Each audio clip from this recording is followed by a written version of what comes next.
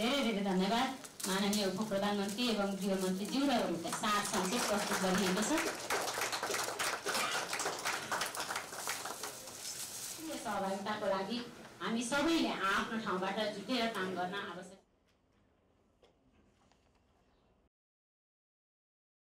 हामीले सर्टिफाई गऱ्यौँ हुन्छ भन्यौँ तर त्यसपछि निर्माण भइसकेपछि त्यसलाई सम्पन्न भएकाहरूलाई सामान्य ती मापदण्ड पुरा भयो कि भएन भनेर हेरेर जाँचेर बुझेर र त्यो इन्सपेक्सनलाई हुन सके जति अलिकति कडाइका साथ पालना गराएर मात्र हामीले सर्टिफाई गर्न सक्यौँ भने न्यूनीकरणमा धेरै ठुलो भूमिका हुन्छ र पिरियडिक रूपमा विभिन्न समय गुज्रिएका वर्षहरू बितिसकेका भवनहरू मापदण्ड अनुसार त्यसलाई ती कुन अवस्थामा छन् तिनलाई पनि हेर्न सकियो र भएका ऐन नियमहरूलाई यदि सच्याउनु पर्ने अवस्था आएको छ अपडेट गर्नुपर्ने अवस्था आएको छ त्यसले जोखिम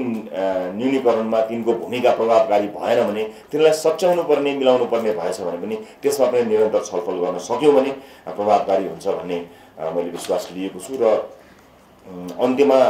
सुरुवात त कहीँ कतैबाट गर्नु नै पर्ने हुन्छ हामीले त्यो सुरुवात किन यहीँबाट नगर्ने भन्नका लागि जस्तो अहिले हामी जम जम्मा भएको यो हलमा नै इमर्जेन्सी एक्जिट छैन। अहिले भर्खरै भइचालो भयो भने हामी नै यहाँ अहिले जोखिममा पर्न सक्छौँ। त्यस कारणले आजैबाट यहाँ एटलिस्ट एउटा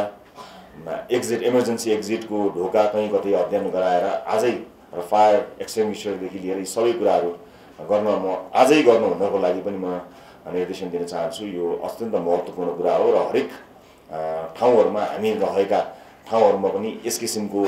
जोखिमपूर्ण छ भने त्यहीँबाट आफ्नै ठाउँबाट यसलाई सुरुवात पनि गरौँ। र हलको क्यापासिटी अनुसार त्यसको हलको क्यापासिटी कति हो भन्ने कुराको स्पष्ट लेख्ने वातावरण नै बनाइदिउँ। कतिपय हलहरूमा क्षमताभन्दा धेरै मानिसहरू जम्मा हुने इमर्जेन्सी एक्जिट नहुने भएको हुनाले